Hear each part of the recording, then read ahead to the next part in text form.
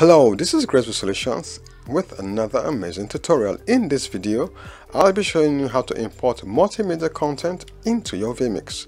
Now by multimedia content, I mean music, videos, and images. So if you're ready, let's dive right into the video. Alright, so the very first thing we're going to do is that we're going to add in a video into our vMix software. Okay, so to do that, I go to where I have add input, the add input button, which is this very button here and then I click it. And yeah it gives me a lot of options. So as you can see we have a ton of options here. DVD list camera NDI desktop capture instant replay video delay images photos and a lot of options okay? So the first thing I'm going to do since I want to import my video or a video I go to where I have video which is this very option. I click it I, I ensure that it is active and then I go to um, I hit browse right here okay so I click browse and then it takes me to my computer where um, I have a list of the video I wish to use for my live stream. And then I let's say this is the video I want to use I select this and I click open. Okay and then when I'm done I go right ahead and click OK right here. Okay now you can select the number of overlay you want to put your video in okay? But I just want to leave it at the default which is one and then I click OK alright so as you can see let me just go ahead and mix the audio. So as you can see we have successfully imported a video into our vmix alright so the next thing we're going to do is that we're going to import an image okay? Alright so to do that we repeat the same process okay? We go to right here where we have our add input okay? I click my add input right here which is this and then it gives us like we did in first option a ton of options or a, a, ton of options rather. And then I go to where I have image.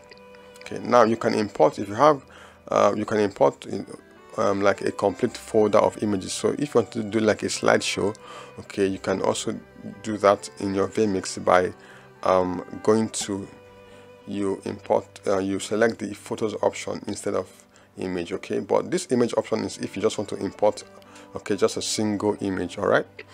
So i go right ahead and click image and then i navigate to where i have uh, browse right here. And then i click browse and then i go to my computer where i have i can just put any image um, okay? You can choose any image image of your choice.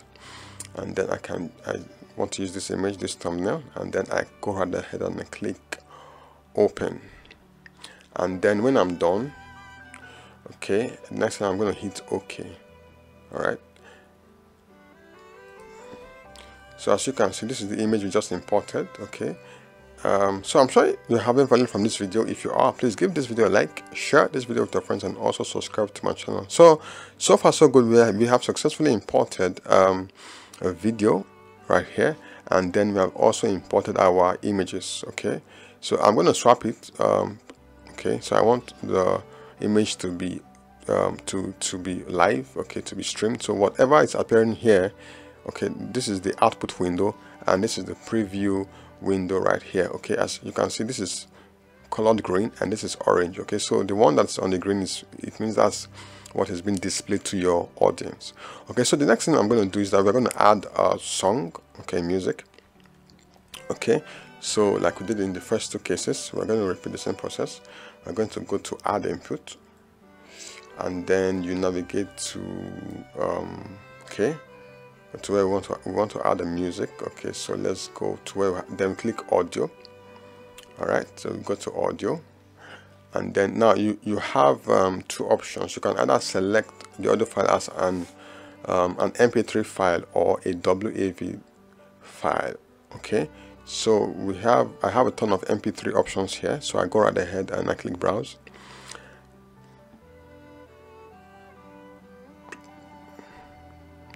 Okay so this is the um, okay so these are some of the audio files I have on my computer okay? So I just go right ahead and click any of them okay? And then I go right down here and I click open. Alright so the next thing we're going to do to, to complete the process of importation we click OK. So as you can see we have also imported our audio sound. So i'm just going to play this to see if it's actually working. Okay so that's the music or the song we just imported and it's playing in the background okay? So i'm just going to go right ahead and mix the audio.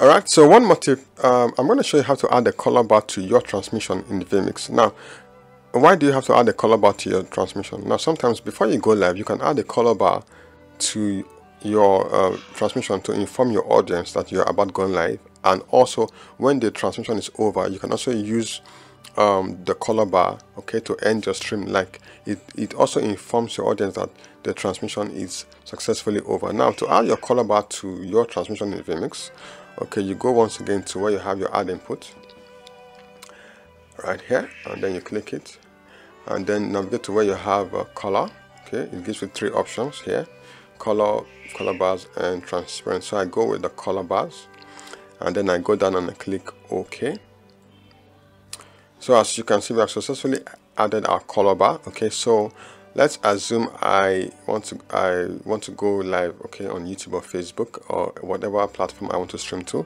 So I start with my color bar and yeah. And then when the transmission has started okay I switch now to my I switch now to my video or to my content, the content I want to stream.